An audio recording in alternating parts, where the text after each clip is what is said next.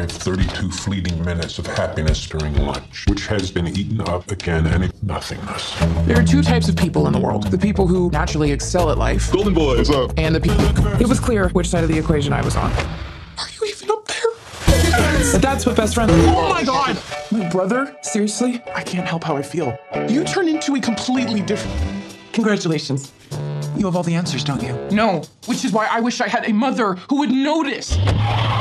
When I was younger, so What did I do to make such a perfect kid, huh? today you cannot Life isn't fair sometimes, Nadine, okay? You gotta get over it. Risks. Don't be afraid to put yourself out there. Nick, I like you. I want you to put your mouth. Oh my. No, no, no, no. Oh my god, no. Oh. me if you cannot feel? This isn't so bad. Want to feel you inside. Hmm. God, we can do it in the Petland stockroom. You need to watch out for run-on sentences. Hey, Busy. I don't want to take up a ton of your time, but I'm gonna kill myself. I just thought that an adult should know.